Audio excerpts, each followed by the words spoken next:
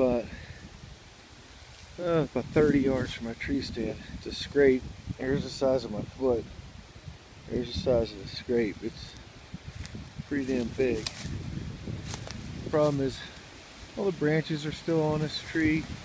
The tree's not rubbed. I peed in it.